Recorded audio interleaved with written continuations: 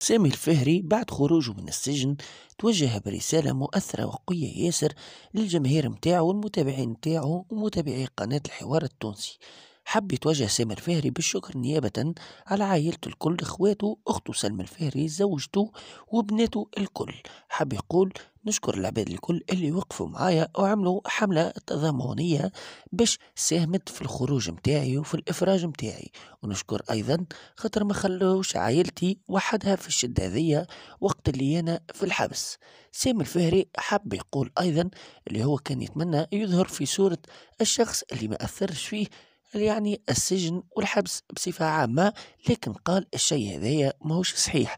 الحبس حاجة خايبة ياسر وكان قلت لكم هكاكا راني نمسكي خاطر بالحق السجن أثر فيا وتعدت تجربة خايبة ياسر ياسر في حياتي ومانيش باش ننساها بعد الخروج متاع سامي الفهري من السجن حكى أيضا على أعماله في المستقبل كيفاش باش ياخذ المشعل على المخرجة سوسن الجمني في أولاد مفيدة وعدة أعمال أخرى.